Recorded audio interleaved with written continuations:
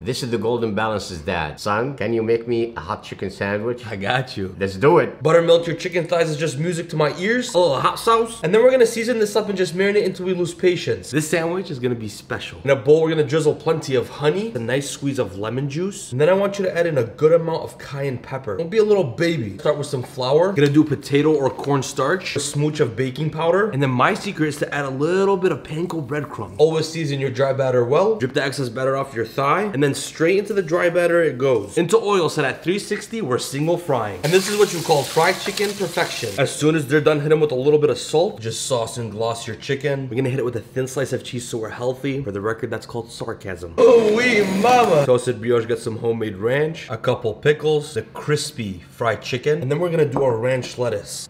And now, Bismillah. Oh, wow. this is great. أعطيني صحن جبال ليش آكل. My bad? إي والله.